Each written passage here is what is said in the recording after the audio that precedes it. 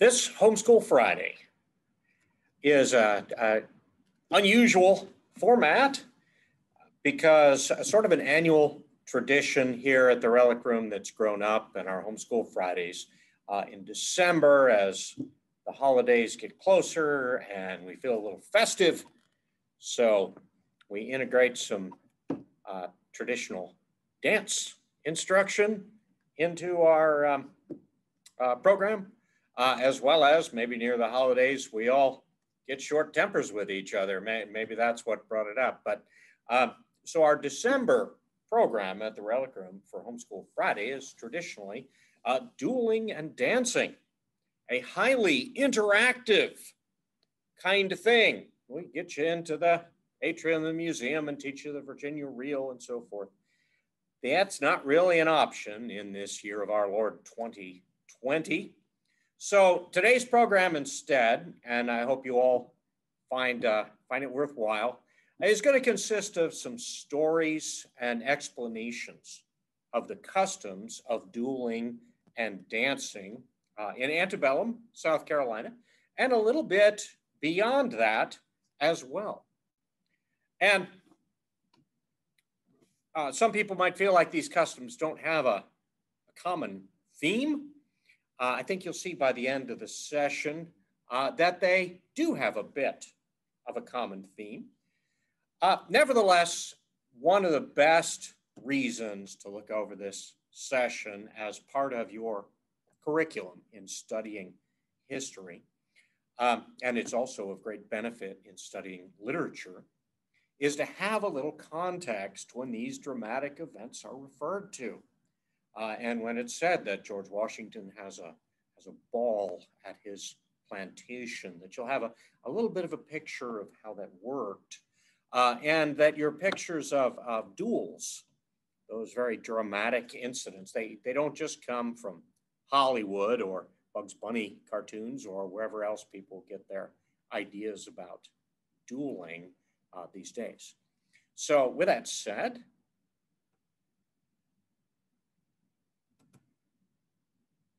Uh, we're going to launch into some stories. And by the way, we also have some wonderful artifacts to get a closer look at later that have to do uh, with these topics. And if there is a, a couple of common themes that run among these, um, customs. Customs are, are important things. Uh, we live in a society right now when a lot of things are done by, by formal laws or regulations that used to be handled um, by well-known customs. Uh, everyone uh, more or less agreed on what the priorities were, what proper behavior was, uh, what upheld honor, what upheld uh, you know, your, your integrity and your public reputation. Uh, and courtesy, courtesy, the rules of etiquette in these situations.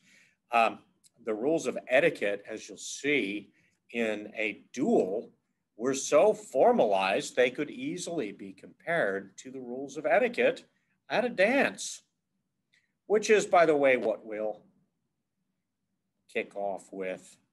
This is a famous, really an, an iconic movie scene uh, from the uh, you know award award winning and groundbreaking film Gone with the Wind that formed so many people's impression of the old South. And it's a scene at a ball. And this picture of Southerners at the big, fancy, um, elaborate dances going through the paces of these group dances. Uh, that's one that really sticks in our mind. Um, and here's a period illustration drawn of a ball. You don't get the same impression of color you do get an impression at the, the moment the artist chose to freeze here with his drawing of a, a sort of a military precision on the part of the men lined up there. Uh, the ladies, of course, they're, they're also lined up. Um, one aspect that makes doing dance interesting in the clothing of that era is those big giant hoop skirts you would find at such an event. Uh, if you ever dance a Virginia reel with ladies wearing hoop skirts, uh, you quickly find you're, bopping among them and they're flying off. Uh, the hoops are flying off in one direction and another, and the, the whole scene becomes a little bit frenetic uh, and um, uh, joyous and, and a lot of fun.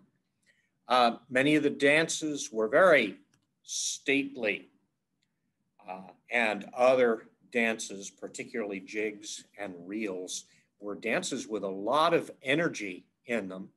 But what they had in common, they had a, a very strong um, and basically simple, once you were a little bit used to it, uh, choreography. There was a, a pattern that was well established, and the whole group of people doing one of these dances uh, participated in continuing the pattern and making the pattern happen. It was a little bit of a different idea of dancing than, you know, we usually think of um, uh, perhaps ballroom dance. Um, there's no equivalent in this period, in this antebellum period of the, uh, you know, the dancing with the stars idea that two really good dancers sort of take over the room and, and everyone stops to watch how fantastically they dance. Um, that, that's something that popped up in a movie I watched last week. There's a scene where that happens uh, in, I guess it's set in the 1930s at the time, um, in It's a Wonderful Life, uh, where there's the dance contest and, and everyone stops and watches two dancers. That's not how dancing worked in this custom in the Old South that grew from what was called country dance in England uh, and came over the ocean. Uh, English country dance and Scottish country dance both came across the ocean with the immigrants and became established customs here in, um, well, first the colonies and then in the United States. In fact, the well known Virginia Reel sounds like it's named after one of our states. It was George Washington's favorite dance, but it's descended directly from a very different, uh, well, from it's the same dance with a different name from an English one that is much older. Uh, and so uh, you can see at any English country dance event, you'll see very familiar uh, are dances that would have been very familiar to people of the United States or of the colonies uh, uh, before the war. So a few differences with what we sort of think of as dance today. First of all, individual dances or really couple dances would be the right word. Uh, dances like the foxtrot and the waltz and so forth. Uh, those would come in later uh, in antebellum times, the group dances were the standard. And you still had a partner in a group dance, but uh, for instance, the uh, Virginia Reel, you wind up dancing with everybody in the entire group. Uh, you will turn them about and you move in and out of the pattern. And the group that does the dance sort of works as a team. So even though there is a designated partner. Still, basically, dance uh, at this point is a group activity. Uh, and I was reading a terrific uh, book um, of an older lady's reminiscences of earlier times. Uh, the book is called Five Petticoats on Sunday. Uh, and she was of the generation who were doing their dances in the 1880s 90s, except she wasn't dancing.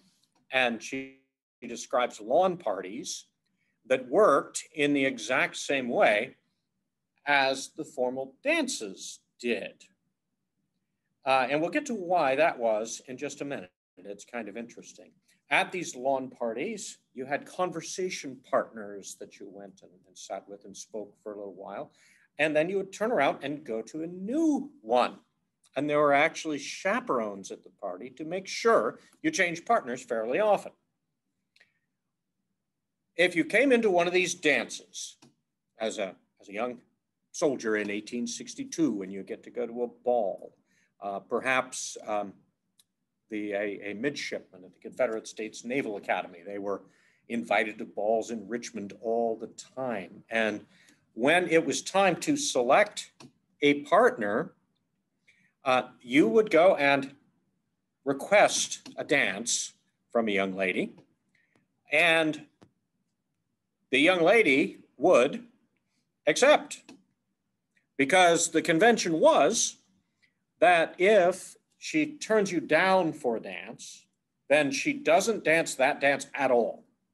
It was not acceptable to turn somebody down that asked you and then accept the next guy to come up. You weren't supposed to sort of pick and choose in that fashion. Of course, there were scheming and politics to that, but none of it mattered too much because when the dance was over, you thank your partner and then you go ask another one. In fact, the assumption was if you danced more than two dances together as partners in the course of an evening, that you were engaged. So there wasn't a sort of, it, it was a very different atmosphere. Uh, the young men were not particularly afraid uh, of getting shot down. Um, generally, the young ladies very much wanted to dance, and to accept a dance was not kind of an obligation. Um, it was it was not so much a romantic thing as a fun group activity, which also very naturally young men and young ladies dancing together was very much part of their their their social life. Um, so it was a different atmosphere than what we think of as dances today. It's always fun at a reenactment to see modern young people who haven't done the old style dancing or understand how the customs work, uh, get used to it, um, begin to experience it, and usually begin to really like it. Uh, again, one of the favorite dances of that era, and the one that really comes down to us um, uh, as the most popular today, uh, is the dance called the Virginia Reel. And for instruction in that one, be watching your calendar around December of 2021, which I hope is more of a sane year and we can have some interactive instruction in that wonderful old dance. An aspect of dancing though, remember I told you about that lady that um, in, in her hometown, they didn't have dances, they had lawn parties. And these lawn parties worked exactly the same getting one partner for a few minutes and being moved to another partner, like a big slow motion dance, except there was no dancing to it. The same lady described um, how at parties there would be folk songs that were, or songs that were sung and played on the piano, and how everyone would do the motions to these songs together in a coordinated way. It was a kind of a song game.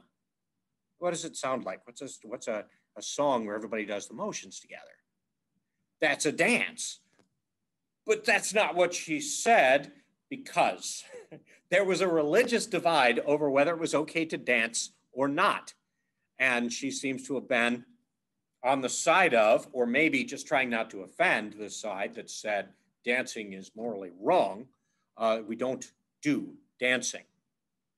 One of the interesting things about the really fierce debates um, between some churches over whether it was okay to dance or not is those big debates didn't come from the later dancing where the man had his hand on the woman's waist and one couple would break off and do things by themselves and the part you'd think would be where they no.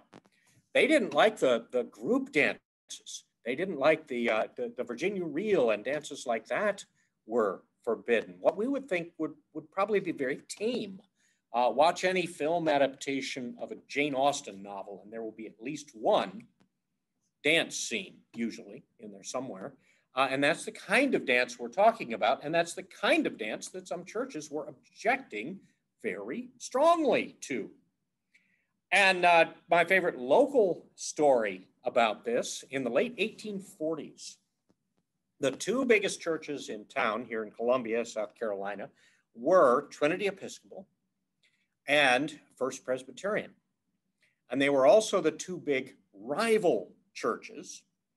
And their traditions had gone different directions over the acceptability of dance.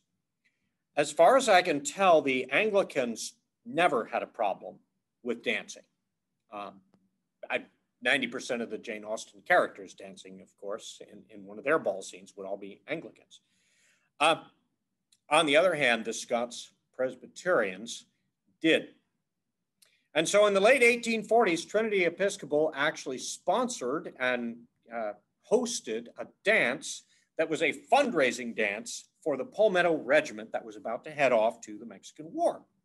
Well, a few of the young people from First Presbyterian Church attended that fundraising ball.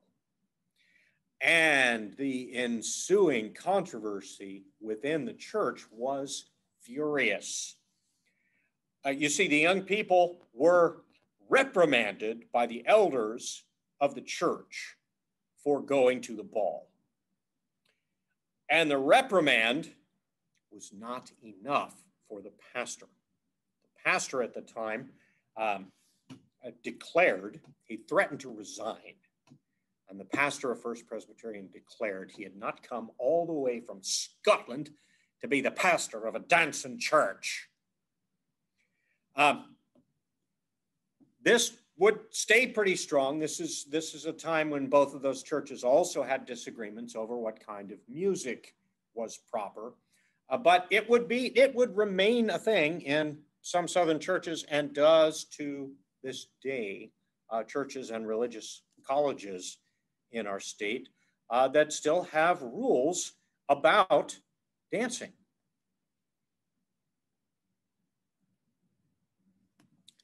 Now, once couple dances came in, you'll actually notice if you look at the um, dance card on your left here, this is a dance card from the 1880s. And the dances that are listed on this dance card, they give both the, um, the kind of dance it is and the tune that's going to be played for it. Uh, you'll notice one of them um, is listed as contra, number eight there, contra. That's a corruption of the word country. Uh, and it's another word for one of the dance traditions that comes from English country dance.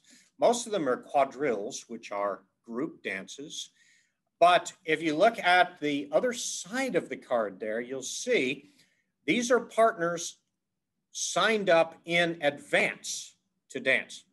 So your, your partner might come to you and, and you might even arrange before the dance. I'm going to dance number three and number 11 with you. Um, and during the dance, you can come up to a lady and ask for a dance. And that now she actually has the card that says, oh no, I was already asked for this one. Of course, if his dance card is blank for that dance, she's still supposed to accept you. Uh, one of the things that would happen with these dance cards was they would wind up being saved as souvenirs. You've got everybody's signature there that was your partner. You have, uh, you know, a, a, record, a little document. They were made very fancy. Uh, and those really came in when couple dances began to be part of, or most of, events instead of the, um, uh, the older events where everything was a group dance.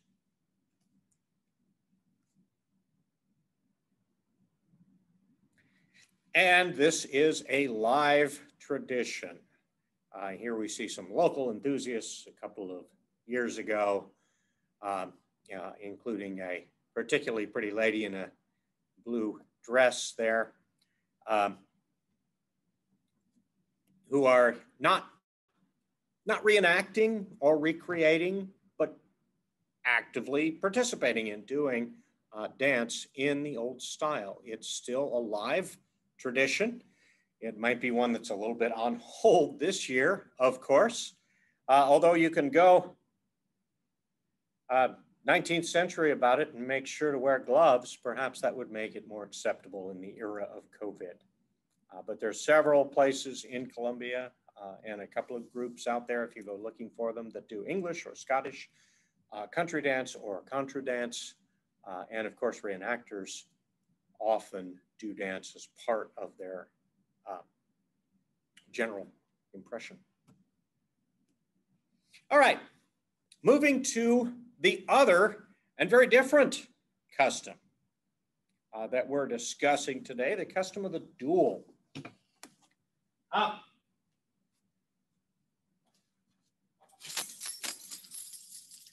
the evolution of dueling is very interesting. Uh, and, you know, it, it, sticks in our minds because it's such a dramatic picture of two men with a difference to settle uh, going out, and they're both going to do the most violent thing possible, which is try to kill each other, and also act according to very formal, standardized rules as they do it. Uh, and you know, it's it's so dramatic and it's so ironic. It really grabs our imagination. This idea of uh, a duel, a deadly fight over a point of honor. Well, dueling's history. Uh, a lot of historians trace it back to what were called judicial duels in um, medieval times. Uh, and that was where, when something could not be settled who was wrong or right in a court of law, the order would be okay, you two fight it out, with the idea being that God and justice would favor whoever was right in the case. So if other proof couldn't be found, uh, it would it would happen by whoever won the fight would be the person who should have won the fight. But it also comes from another source. And was a way to reduce violence. Now, that sounds kind of funny to allow a deadly fight to reduce violence. But if you think of uh, the plot of Romeo and Juliet, you have two families there uh, and all their retainers, powerful families, and, and everybody that works for them have a feud going on. And when this feud is going on, it means that they're going to kill people from the other side. They're going to fight sometimes when they meet. There might be ambushes and acts of treachery. And every bad thing that happens tends to cause a reprisal of another bad thing being done in the other direction. It's a cycle of vengeance, the way the Middle East has operated for thousands of years, a cycle of vengeance. A duel was supposed to prevent a cycle of vengeance. When you had two men agree, this is the question at dispute, we're going to settle it on that date in this place, and when it's settled, it's done. That was the idea. That instead of a feud that went on forever and involved many people, that only the two people with the main quarrel that they would settle it themselves. And in fact, in Europe, over time, uh, the aristocrats came up with less and less deadly duels uh, until the small sword. Uh, you know, we, we think of the sport of fencing, which is derived from using the small sword. Well, the small sword was already not necessarily the deadliest of weapons like its ancestor had been, uh, but they began to put a, a little three pronged point on the end of it because a three pronged point would only go as deep as the little fork that was made by it. And that couldn't kill anybody. Uh, and it could settle by first blood who won the encounter. And only aristocrats dueled. Well, as the custom crossed the ocean, like many things, Americans had the idea we don't have this, this same difference in classes or aristocratic sensibilities of Europe. And many Americans viewed dueling very pragmatically. They looked at it as I want to kill that guy, and under this custom, I'm permitted to do so. And so, American choice of weapons was often particularly deadly. And the English, in general, did not believe that practicing pistol marksmanship for a duel was a good thing to do. They thought it, it's supposed to settle things a little bit randomly. It's not supposed to be about who's the better marksman, but about the fact that both of us are brave. Um, that wasn't the American idea. Uh, Americans who thought they might be involved in a duel often practiced ferociously with the pistol uh, in order to be a particularly good shot. Uh, by the way, there were sword duels in America, uh, but only one ever in South Carolina that I've been able to find in the 1790s. Uh, that was a special case, to say the least. Both men involved were fencing teachers. Uh, but the standard weapon in South Carolina was the single shot pistol. And there was a standard way to do things. In fact, it was a former governor of the state, John Lyde Wilson, who wrote a set of formal rules for dueling. He called it the Code of Honor, uh, rules for the uh, for the governing of principals and seconds in dueling. And in the foreword to the book, he says, uh, he, he, justifies himself in, in writing a book of rules for men to shoot each other in the proper way.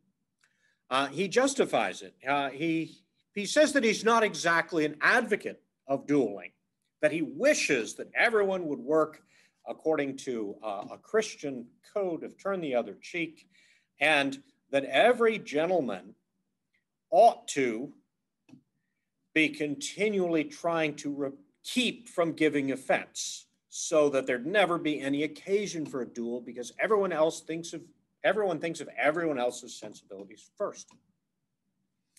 But he says that's not going to happen. And since it's not going to happen, just as our nation had the right to seek redress against Great Britain for wrongs that were suffered, an individual man can seek redress. And that some things were not things that you could settle in the court. Uh, for instance, a man who's called a coward, um, it couldn't really do a lawsuit about that. But if he were to fight a duel, he can both get justice for the false accusation. He also proves the accusation false because would a coward stand there and let somebody else shoot at him? Uh, so Wilson said that dueling would be around as long as manly independence shall continue to exist. Uh, he actually said if we were to give up the custom of dueling, we might as well all forsake civilization and go live in the woods with the savages. Uh, so, for a man who is not an advocate of dueling, he had some very strong ideas. But the strongest one, something interesting that comes across in the code. Um, the principals and dueling language, those are the two guys that are going to fight. The, the principals uh, are the man who gave the challenge and the man who accepted the challenge. Those are the principals. Each of them has someone appointed to act for him, uh, referred to as a second, also referred to as his friend. Um, so that if an insult was offered, uh, you said a terrible thing to another man, he was not supposed to insult you back. If, uh, if two gentlemen, and by the way, these customs are to apply to the, to the upper classes, uh, the way that Wilson envisions them, but if, if a gentleman were to call another gentleman a liar, for instance, the second gentleman should never, ever, ever respond, no, you're the liar. Um, whataboutism was absolutely forbidden. Instead, um, and by the way, this also applied to one thing that, that was almost impossible not to duel over uh, was being physically struck with a hand. If you were hit, if somebody hit you with a hand or a stick, uh, and you were a gentleman, um, to maintain your honor, you had to challenge to a duel, but not to hit back. You didn't hit back. You said, Oh, I accept. And at that point, you said that your friend will see his friend about making arrangements. And from then on, the principals, the two guys that are going to fight, they are considered sort of like the bride and groom being kept apart before the wedding. They're not supposed to talk to each other or send a note directly from one to the other. Uh, they are to be kept apart. And there's a reason for that. And in John Lyde Wilson's code, the whole idea there is that the seconds have the important, responsible job. The seconds are supposed to calm things down, talk together, and reach an understanding that can prevent the duel by both of their principals agreeing through intermediaries. Well, what if if my guy clarifies that when he said this, he didn't mean that? Would that be good enough for your guy? Well, my guy says you must ret- re- withdraw this certain word in particular. Well, I'll check with my guy and see if that's okay. That was the idea that the hostile meeting, as it was called, uh, that the duel could be prevented by the seconds. There's a problem with the whole concept here. The problem was that the principals choose the seconds. And you were very likely to choose someone who had just as much of a grudge as you did against the other principal. So that could lead in bad directions. Um, uh, Maxcy Gregg, later a general, when he was a young man, Maxcy Gregg was a second appointed for a duel. And before he was done meeting with the other second to make arrangements, um, they had challenged each other. And there was going to be a, another duel between the seconds, exactly the way John Lyde Wilson did not want it to go. Uh, a couple of great excerpts from his book to give you the, the tone, the flavor of how he wanted things done. Uh, and these are both from the same chapter, chapter five, the duties of the principals and seconds on the ground. Um, the principals are to be respectful in meeting. Now, in meeting, this is the actual meeting at the dueling ground. They're going to fight. The principals are to be respectful in meeting and neither by look or expression irritate each other. So it's okay to shoot him, but no give him stank eye. They are to be wholly passive, being entirely under the guidance of their seconds. They're just supposed to do what they're told. When once posted, they're put in their place for the fight. They are not to quit their position under any circumstances without leave or direction of the seconds. Now, this next bit, what happens the uh, in the duel when they call for fire? How that goes is fire. One, two, three, stop. So um, it's legal to shoot only in between the word fire and the word stop. Uh, anything else, the seconds are standing next to the other guy's principal. If you are the second of, of the major who's fighting the colonel, you stand next to the colonel. And the seconds have pistols too. And they are supposed to shoot anybody who breaks the rules. So after that exchange of shots, each person has fired one shot. Rule six kicks in.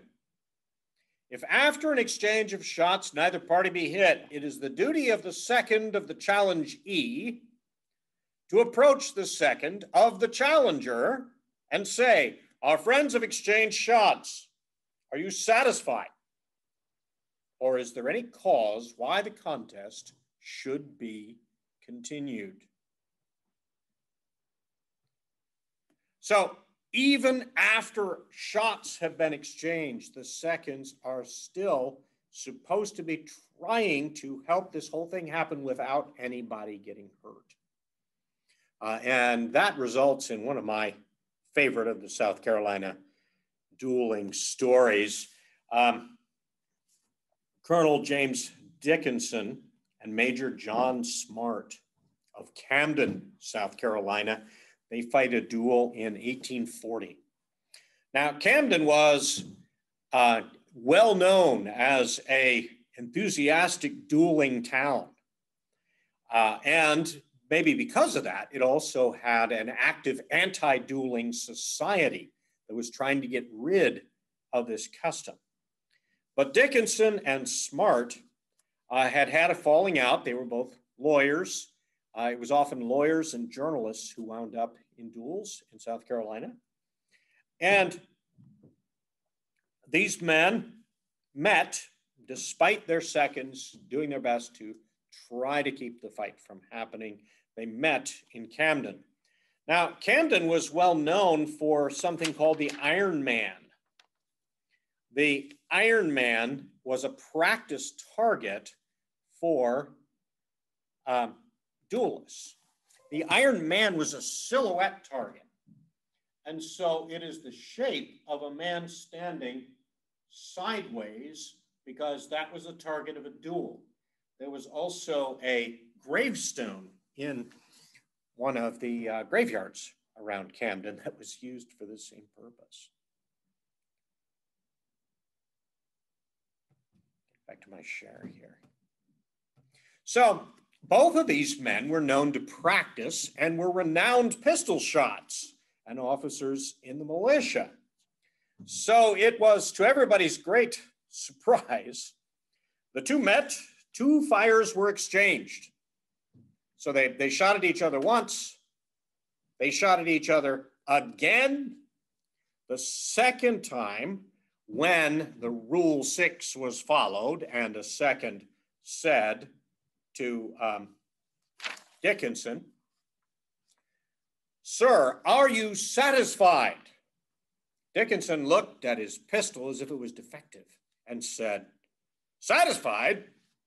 Disgusted.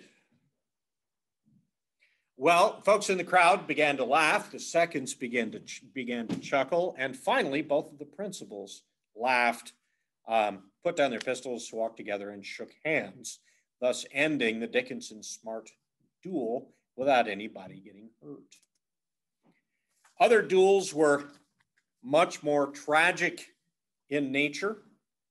Uh, the duel which occurred in the early 1830s at South Carolina College between two students who were known to be friends uh, over who had touched a plate of trout first. You see, they were serving trout for dinner, and the custom was whoever touched the serving plate first could choose his portion first. And they disagreed about who had touched it first. And I guess somebody got mad enough to call the other one a liar. Well, the peer pressure then for them to shoot it out uh, was so strong that these two young men did that. Uh, one of them killed the other in that duel and then um, went on to uh, commit suicide some months later. Uh, so it, it killed one young man and traumatized the shooter so much that uh, that duel ended two young lives. Uh, precisely the direction that people like John Lyde Wilson didn't want duels to go, and precisely the direction that members of the anti dueling societies expected it to go a very tragic circumstance. Another duel, um, which ended in a happier fashion, was among members of Hart's Battery, which was a Confederate unit during the war. Now, several times we have stories during the war of South Carolinian officers, always officers, uh, fighting duels during the war as if they didn't have enough danger in battle. Uh, a personal quarrel would be something they would risk their lives over. But in this case, it was two young men of Hart's Battery, uh, artillery, and they had a falling out very late in the war. It was spring of 1865, approaching the Battle of Bentonville. Uh, the unit had lost a lot of people, it had been through a lot of misery. And when these two young men had their falling out and decided that they were going to formally shoot it out the next morning, they left the campfire and went to their respective tents. But their buddies sitting around the campfire stayed up and concocted a plan. The next morning, the duel was um, carried out according to all of the formal procedures. Um, Cohen's and Chu's seconds, Verdier and Razor, were either the best seconds around or the worst, depending on who you asked. They had a very particular idea of the outcome they wanted from the duel, and they took steps. They took care of all the arrangements, so the next morning, when camp was astir at the break of day, things were ready for the principals, Chu and Cohen, in this fight to take their positions. Expressions were grim, faces somber on the witnesses and the young men, intent on killing each other. At the word, both Cohen and Chu emptied their pistols. When things were said and done, both men were uninjured. Their anger faded with the fading smoke, and they declared their satisfaction. But as they returned to camp, bemused, Cohen remarked to his second, Verdier, on how strange it was that no bullets had struck. Well, the second knew very well why no bullets had struck. The young men had been provided with pistols loaded with gunpowder with no bullet. Uh, by the way, that rumor also had circulated over the Dickinson Smart duel earlier that the seconds had sabotaged it, although in that case, I don't believe it for a minute. Some things that South Carolinians fought duels over. There were duels fought over newspaper columns in two directions. Uh, two newspaper editors fought over the issue of nullification that they were arguing in their columns. Uh, but another thing that would be would cause a duel would be slander in print. In fact, if you wanted to provoke somebody, you could threaten him that you're going to put uh, buy an ad. It was called posting, a coward, to buy an ad in which you just said what an unworthy human being he was, unless he accepted your challenge to a duel. Uh, this failed, by the way, on one Georgia man who was told if he would not fight, uh, that I will fill a column of the newspaper with you. And the man replied, Go ahead, I'd rather fill a dozen newspapers than one coffin. But not everyone had that idea. A chess game. Colonel Albert Bland fought Major Siebels. Colonel and Major, by the way, seem to be dueling ranks for some reason. Um, Colonel Bland and Major Siebels fought over a chess game. And I had always thought that uh, that was because one of them had been accused of cheating. It turned out that was not the case at all. Bland moved a piece. Siebels said, Well, Albert, that was a stupid move. Albert Bland said, It wasn't stupid. And he looked at it. And he said, It may have been imprudent, but it wasn't stupid. Siebels said, No, Albert, that was stupid. He would not withdraw the word stupid, even though a group of officers convened a board to settle the disagreement and recommended that he characterize the move as imprudent but not stupid. Siebels would not take it back. And the next day, uh, Albert Bland shot him, not fatally. Uh, and there's another rule in John Lyde Wilson's book that says that whoever uh, wins should immediately offer any assistance possible to the man he has wounded. As the story goes, now we can't prove this part, as the story goes, Major Siebel's lying on the ground. Uh, Colonel Bland, who was a doctor in uh, private life, Dr. Bland uh, supposedly had his second say to him, uh, Colonel Bland believes that honor is satisfied. He would like to offer his services as a physician. And that Siebels, before he passed out, said, You tell Albert he served me quite enough for one day. I already mentioned the fight over a plate of trout. And only recently I found out about a fight 10 years after the war between two former officers over whose fault it was that Columbia was burned. These have all been fighting topics in South Carolina. The last of the South Carolina duels was the Cash Shannon duel in the 1880s. Uh, Colonel Cash and Colonel Shannon, both former officers, this duel came from a lawsuit. And Colonel Cash killed his opponent in the last of South Carolina's, uh, or should I say, the last duel in South Carolina to this date. South Carolina still has on the books an anti dueling law, as well as a specification that you are not eligible to run for office if you have ever been in a duel. in fact, uh, an opponent tried to use this at one point against none other than uh, Strom Thurmond, alleging that since Strom Thurmond had once been in a fist fight which had been arranged ahead of time, so meet me out back, and then they met on purpose, that that constituted a duel. Uh, that was thrown out. It does not. Uh, I don't recommend, but, but it doesn't violate the anti-dueling statutes. So I'll tell you what, before we get to that part, I'm going to stop share for a minute and take some time with these wonderful artifacts that have been pulled for us today by our registrar.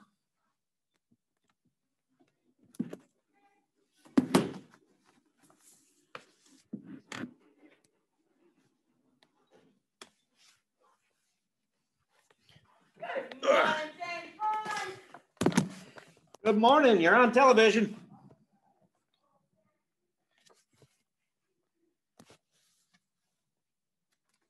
I guess my cover's blown.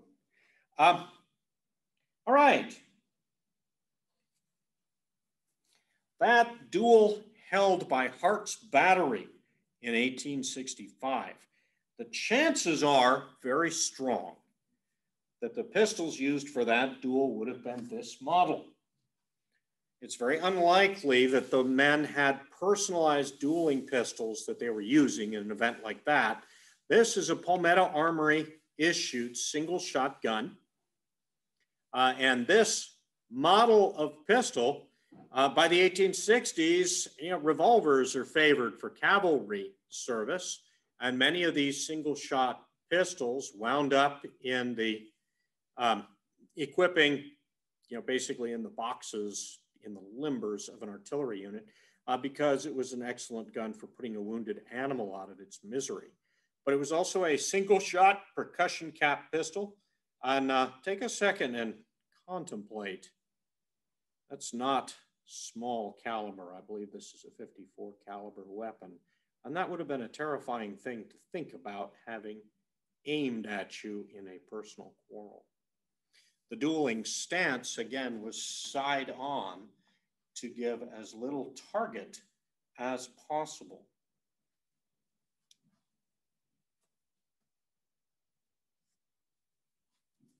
And a few dancing related artifacts that were come up with from our collection. This pair of shoes worn at a wedding this dates from the 1880s. You can't feel how light they are, but uh, very elegant, very, very light footed, I think you would be in these nice little shoes. Let's, ladies will be interested in the heel of the shoe as well. You can imagine what that surface would be like. You get good, good swift pivots there. Hopefully you wouldn't, wouldn't run away with you down the floor. But we know of dances, and one of my favorite South Carolina anecdotes about a dance during the war I found involve men wearing big monster boots like this one.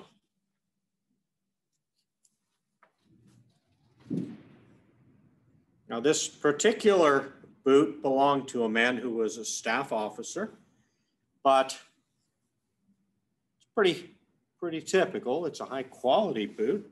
And there's this wonderful account from the diary at Pooshee Plantation.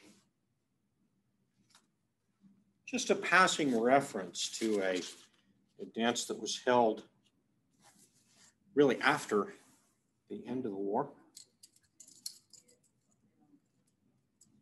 When Sherman passed through South Carolina, um, capturing various places uh, and sometimes destroying them, but not leaving garrisons around everywhere to occupy territory that he'd captured.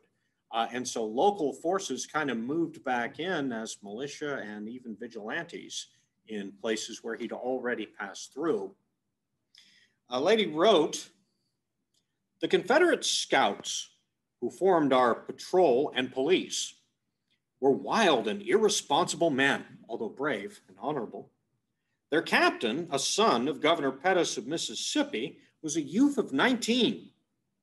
Except for them, the country between us and Charleston, after its fall, was at the mercy of bands of stragglers who burned and pillaged recklessly. At last, the time came when our faithful band of Confederate scouts was recalled.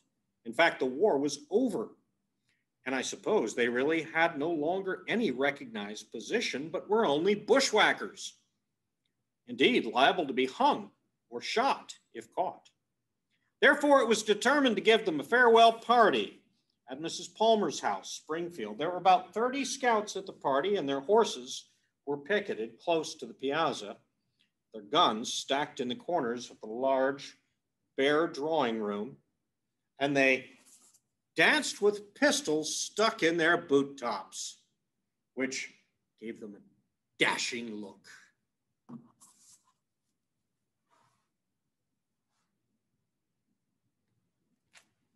Now,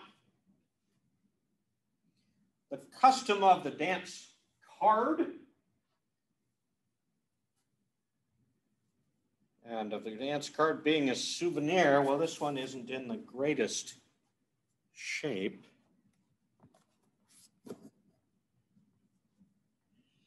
But this is Spanish-American War period for a dance to be given by the officers of the 2nd Mississippi Volunteer Infantry.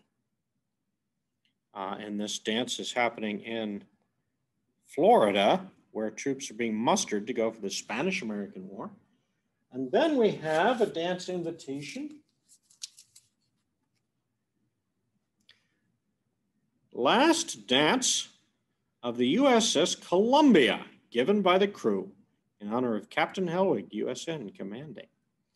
Many times you'll hear things from our museum uh, about the legacy of the USS Columbia light cruiser CL-56. This is not one of those things. This is not a World War II light cruiser. It is a World War I protected cruiser. And this last dance before the ship's decommissioning is May 18th of 1921.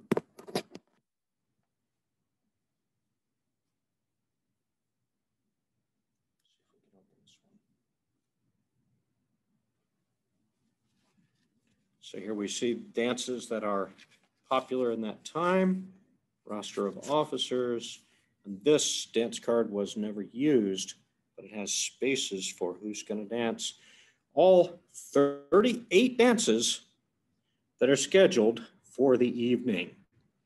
All of these by 1921 are couple dances and not uh, group dances. And only one tune is specified. The last waltz will be done to the tune Home Sweet Home. So these artifacts give us a connection with the past and another connection uh, with the past of these two different kinds of customs we talked about today uh, is to participate in their modern derivatives. Uh, we already talked about how English country dance, contra dance, Scottish country dance, square dance by the way. Square dances movements are very often identical to English country dances, just called by different names and done to different music.